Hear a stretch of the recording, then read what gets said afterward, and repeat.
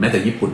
ก็มองว่าเศรษฐกิจในอาเซียน 5-6 ประเทศชั้นนำขนาดใหญ่ปีนี้ไม่น่าจะขยายตัวขึ้น รวมถึงประเทศไทย กลายเป็นประเทศที่ถูกลด GDP มากที่สุดถึงเกือบ 1%ใน 6 ประเทศที่ญี่ปุ่นทำผลสำรวจครับ ร่วมคุยกับบัญชาโดย Air Asia ใครๆ ก็บินได้ SCBX กลุ่มบริษัทเทคโนโลยีทางการเงินชั้นนำระดับภูมิภาค แม้แต่ญี่ปุ่น ก็มองว่าเศรษฐกิจในอาเซียน 5-6 ประเทศชั้นนำขนาดใหญ่ปีนี้ไม่น่าจะขยายตัวขึ้น รวมถึงประเทศไทย กลายเป็นประเทศที่ถูกลด GDP มากที่สุดถึงเกือบ 1%ใน 6 ประเทศที่ญี่ปุ่นทำผลสำรวจครับ การสำรวจครั้งนี้เนี่ยนะครับเกิดขึ้นโดยศูนย์วิจัยเศรษฐกิจแห่งชาติญี่ปุ่น หรือที่เรียกกันว่า JCER คนรู้จักกันดี โดยเฉพาะวงการธุรกิจวงการอุตสาหวงการอุตสาหกรรมเนี่ยจะรู้จักสถาบัน JCER นะครับย้ำอีกทีหนึ่งก็คือศูนย์วิจัยเศรษฐกิจแห่งชาติญี่ปุ่น เขาร่วมกับสำนักข่าวของนิกเกอิโอนิกเกอินี่ก็เป็นประมาณระดับไทยรัฐบ้านเราเนี่ยนะฮะทั้งสองสำนักทำผลสำรวจรายงานสถานการณ์เศรษฐกิจใน 6 ประเทศชั้นนำของกลุ่มอาเซียน แล้วไม่ได้เพิ่งมาทำหรือทำเฉพาะช่วงที่มีประเด็น เพราะเขาทำสม่ำเสมอ และช่วงเวลาที่เขาทำเนี่ยประมาณช่วง 3-6 เดือนนะฮะสิ่งที่ศูนย์วิจัยเศรษฐกิจแห่งชาติญี่ปุ่นหรือว่า JCER นะครับทำทำออกมาและได้ผลสรุปอย่างนี้ คือเขาบอกว่าเศรษฐกิจกลุ่มอาเซียนทั้งหมดในปีนี้นี่นะครับ มีอยู่ 5-6 ประเทศเนี่ยนะฮะ ใน 5-6 ประเทศนี้เป็นประเทศชั้นนำในอาเซียน ปีนี้เศรษฐกิจทั้งหมดอาเซียนจะขยายตัวเหลือเพียงแค่ 3.9%นั่นหมายความว่ามีการลดเป้า นั่นหมายความว่ามีการหลุดระดับจากมุมมองเดิม เดิมทีเขาคิดว่าเศรษฐกิจ 5-6 ประเทศชั้นนำในกลุ่มอาเซียนเนี่ย น่าจะขยายตัวได้ประมาณสัก 4.2%แต่ทำไปทำมาเหลือ 3.9%ครับ ทีนี้พอเหลือ 3.9%ก็ปรากฏว่าเป็นการปรับลดตัวเลขของเศรษฐกิจอาเซียนที่จะขยายตัวในปีนี้ลงเป็นครั้งที่ 2 ก็แสดงว่าลงครั้งแรกยังไม่พอ ครั้งที่ครั้งล่าสุดมาลงนี่อีก ก็สัญญาณของเศรษฐกิจอาเซียนขณะนี้ก็เป็นช่วงของการชะลอตัวลงอย่างชัดเจนนะครับ ถามว่าใน 5-6 ประเทศที่เขาทำเนี่ย มีอยู่ 3 ประเทศที่เป็นไฮไลท์เขาบอกว่า 3 ประเทศในการสำรวจครั้งนี้คือ ไทย สิงคโปร์ และมาเลเซีย เป็น3ประเทศที่เผชิญปัจจัยเสี่ยงที่มีความรุนแรงเหมือนกันเลย คือเศรษฐกิจจีนชะลอตัว คือถ้าพูดภาษาชาวบ้านก็คือทั้ง3ประเทศเนี่ยก็คือไทยสิงคโปร์มาเลเซียไปพึ่งเศรษฐกิจจีนมาก เมื่อเศรษฐกิจจีนในปีนี้เจอกับสภาวะวิกฤตของเขาภายในบ้านอย่างรุนแรงครับไม่ว่าจะเป็นเรื่องของวิกฤตหนี้อสังหาริมทรัพย์ซึ่งเป็นเรื่องที่ทั่วโลกเขารู้จักกันแล้ว ว่าดีไม่ดีตอนนี้เศรษฐกิจจีนคือฟองสบู่สังหาริมทรัพย์แตกลังโพเรียบร้อยโดมิโนก็ไล่กันต่อไป บริษัทที่ทำอสังหาริมทรัพย์ในจีนแผ่นดินใหญ่ที่เป็นแบบระดับโลก ต่างก็ชักดาบจนกระทั่งถึงขั้นประกาศล้มละลาย กลายเป็นโดมิโนไปเป็นทิวแถวนะฮะสิ่งสำคัญต่อไปก็คือว่าแล้วปัจจัยลบตัวอื่นด้วย ที่ทำให้ 3 ประเทศนี้เนี่ยเจอความเสี่ยงร่วมกันแบบมีความรุนแรงเนี่ยนะครับก็คือเงินเฟ้อในแต่ละประเทศก็ยังคงอยู่ในระดับสูง แม้จะอยู่ในช่วงของการชะลอตัวลงก็จริง ไม่ปฏิเสธครับว่าเงินเฟ้ออยู่ในช่วงขาลง แต่ไม่ได้หมายความว่าลงมาถึงเป้าหมายที่หลายฝ่ายอยากจะให้เข้าเป้ามากกว่านี้ ยังไม่เข้าเป้านะฮะสิ่งที่มองต่อไปก็คือว่าอัตราดอกเบี้ยระยะสั้นของธนาคารกลางสหรัฐอเมริกา ซึ่งก็เป็นตัวทำให้เกิดช่องว่าง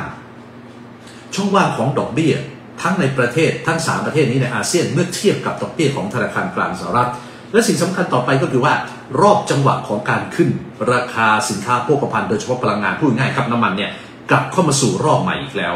ดังนั้นจึงทำให้3ประเทศนี้นะครับก็คือไทยสิงคโปร์และมาเลเซียเนี่ยเป็นประเทศที่มีความเสี่ยงร่วมที่รุนแรงเหมือนกัน คือเนื่องจากจีนแผ่นดินใหญ่นั่นเองนะครับนั้นถามท่านผู้ชมเลยนะครับว่า อันนี้ความคิดความคิดท่านผู้ชมได้เลยนะท่านผู้ชมคิดว่าไทยพึ่งพาเศรษฐกิจจีนมากหรือน้อยส่งครับ ส่งเลยนะฮะท่านผู้ชมคิดว่าเศรษฐกิจไทยนะฮะเศรษฐกิจไทยในปัจจุบันนี่นะครับ พึ่งพาเศรษฐกิจจีน มากหรือน้อย ใครคิดว่าพึ่งจีนมากพิมพ์มากครับ ใครคิดว่าพึ่งจีนน้อย พิมพ์น้อยส่งมาเลยนะฮะนี่เอาง่ายๆสุดแล้วนะครับคำถามที่สองเรานะครับท่านผู้ชมคิดว่านี่นะฮะเศรษฐกิจประเทศไทยนี่นะฮะพึ่งเศรษฐกิจจีนเนี่ยมากหรือน้อย ใครคิดว่ามากพิมพ์มากครับ ใครคิดว่าน้อยพิมพ์น้อยส่งมาเลยนะฮะแล้วเดี๋ยวเราจะได้ดูกันแน่นอนเมื่อเขาทำแล้วเขาเจาะต่อนะฮะศูนย์วิจัยเศรษฐกิจแห่งชาติญี่ปุ่นว่า JCER เจาะลงมาที่ประเทศไทย ว่าในที่สุดก็จำเป็นต้องลดเศรษฐกิจประเทศไทย หมายถึงว่าเป้าการขยายเศรษฐกิจของไทย และดูที่ผมเปรียบเทียบข้อมูลทั้งหมดเดี๋ยวจะเล่าให้ฟังทั้งหมดเนี่ยนะกลายเป็นประเทศไทยเนี่ยถูกลดอัตราการขยายตัว GDP ลงมากที่สุดใน 5 ประเทศของอาเซียนครับ เศรษฐกิจไทยถูกลดเป้าลงมานะฮะ จากเดิม 3%ลงมาเหลือเพียงแค่ 2.9%นะฮะ จากเดิมที่เคยคาดการณ์ในเดือนมิถุนายนว่า เศรษฐกิจไทยน่าจะโตได้ถึง 3.8% ซึ่ง JCR ของญี่ปุ่นให้เหตุผลว่าเพราะเศรษฐกิจจีนแผ่นดินใหญ่ชะลอตัวลงมาก และส่งผลกระทบกับประเทศที่พึ่งพาเศรษฐกิจจีน ซึ่งมีสัดส่วนมากนะครับ คุณคุณอะไรเนี่ยเขาดอนใช่ไหมขอไว้อ่านชื่อผิดนะบอกว่ามากเนี่ยคำถามที่เราตั้งเอาไว้นะท่านผู้ชมคิดว่าเศรษฐกิจไทยเนี่ยพึ่งพาจีนมากหรือน้อย ใครคิดว่ามากพิมพ์มาก ใครคิดว่าพึ่งน้อยก็พิมพ์น้อยนะครับนอกจากนี้ประเทศต่อไปคือสิงคโปร์สิงคโปร์ก็ถูกปรับลดตัวเลขการขยายตัวเศรษฐกิจในปีนี้ครับ โดยลดลงนะฮะจากเดิมคิดว่าสิงคโปร์ปีนี้จะโตเกิน 1%คือ 1.3%ปรากฏว่าทำมาทำไปเหลือแค่ 0.6%ก็เพราะว่าสิงคโปร์นั้นเป็นประเทศขนาดเล็ก และเป็นประเทศที่พึ่งพาปัจจัยทางเศรษฐกิจนอกประเทศล้วนๆไม่ว่าจะเป็นเรื่องของการส่งออกสินค้าอิเล็กทรอนิกส์หรือว่า re-export คือการส่งออกซ้ำหรือส่งออกใหม่นะฮะ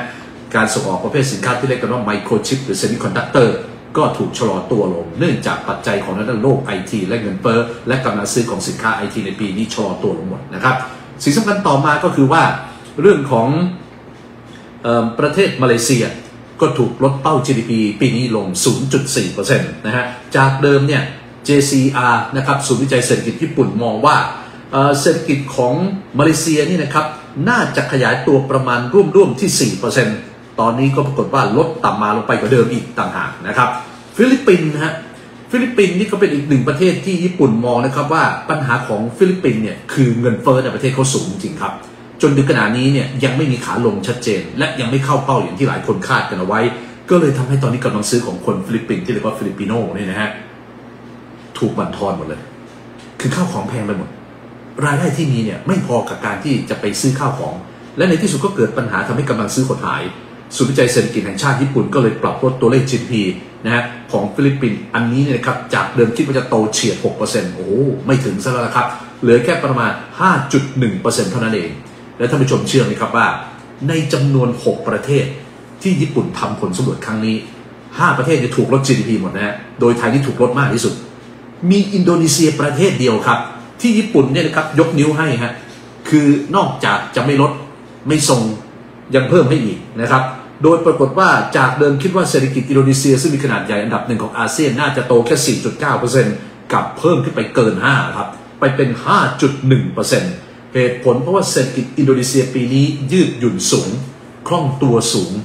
ปรับตัวรับกับสภาพของปัจจัยลบจากภายนอกได้เป็นอย่างดี แถมกำลังซื้อภายในประเทศเกิดการกระตุ้นอย่างต่อเนื่องท่านผู้ชมคิดดูสิว่าประเทศที่มีพลเมืองตั้งใหญ่ ในแง่ของโลกมุสลิมอันดับหนึ่งแถมมากที่สุดในอาเซียน 260 ล้านคนบวกบวกขึ้น กระตุ้นกำลังซื้อทีนี่ไม่ต้องห่วงเลยครับว่าเงินหมุนกี่รอบถูกไหมฮะและในขณะดาษเดียวกันเนี่ยนะครับ ก็เลยทำให้เป็นเพียงประเทศเดียวในผลสำรวจครั้งนี้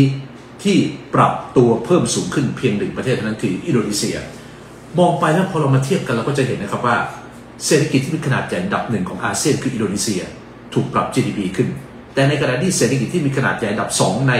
อาเซียนคือประเทศไทยถูกกด GDP ลงนะฮะแล้วดูการขึ้นของเขาสิครับ จาก 4.9 นะฮะ 5.0 5.1 นี่ขึ้น 0.2%แต่ถ้าเทียบไซส์โอ้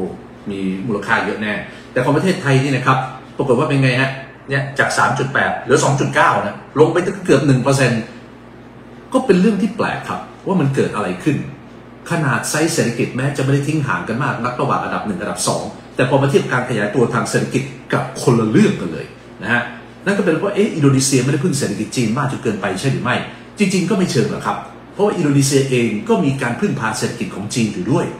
เพิ่งเปิดรถไฟความเร็วสุดนะฮะหรือว่าความเร็วสูงสุดเป็นชาติแรกในอาเซียนที่มีการใช้รถไฟความเร็วสูงสุด ซึ่งร่วมมือกับจีนแผ่นดินใหญ่เกิดขึ้น แต่เนื่องจากว่าอินโดนีเซียนั้นไม่ได้ใช้เค้กทั้งใบในการพึ่งพาเศรษฐกิจจีนมากจนเกินไปนะครับ ดังนั้นก็เลยกลายเป็นเรื่องที่ตอนนี้แม้แต่ญี่ปุ่นเองก็มองว่าเศรษฐกิจไทยบ้านเรานั้น มีการชะลอตัวอย่างนี้ลงมาจริง ๆ นะครับ ก็อย่างที่บอกท่านผู้ชมไปครับ ชอบพอนะฮะเกี่ยวกับมุมไหนประเด็นไหนอย่างไรอย่าลืมกดไลค์กด Follow กดแชร์เพจ Facebook B Times ของเรานะครับ